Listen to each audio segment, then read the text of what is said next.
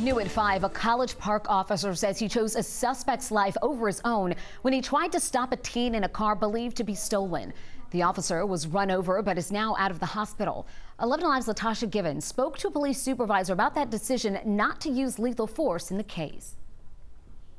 And we learned this afternoon Officer Ivory Morris underwent a successful surgery and is now home recovering. We also learned that police say the teen suspects may have been casing out a hotel parking lot trying to find cars to steal when Officer Morris tried to stop them. He looked in his eyes and he looked and the suspect looked into his eyes and fled. And still his it happened so quickly his mindset was I don't want to take this child away.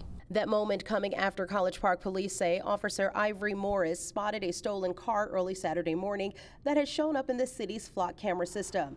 Police say as Officer Morris tried to stop the car spotted on Southport Drive, it sped towards him. Behind the wheel was a teen. Investigator Morris actually had every right to use use of force.